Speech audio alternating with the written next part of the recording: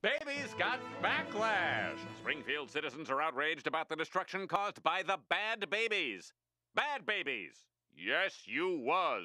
They destroyed my home and the equity I'd built up therein.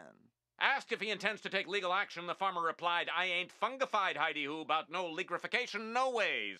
Then scratched his rear, hitched up his pants, and scratched his rear again.